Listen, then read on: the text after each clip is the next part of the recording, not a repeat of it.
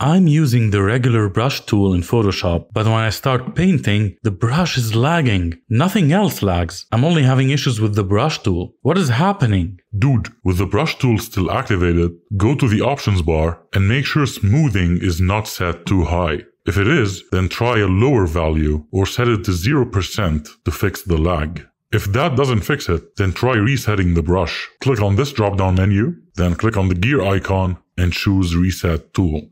Additionally, click here to open the brush settings panel and turn off any unwanted effects applied to the brush. If you're still having issues, then make sure the document size is not too large by going to Image, Image Size, and adjusting the width and height values as well as the resolution. Also, open Photoshop's preferences by pressing Ctrl or Command K go to Performance, and make sure you assign enough RAM to Photoshop that your graphics card is detected and used. Finally, make sure your computer is set to maximum performance and that both Photoshop and your drivers are up to date.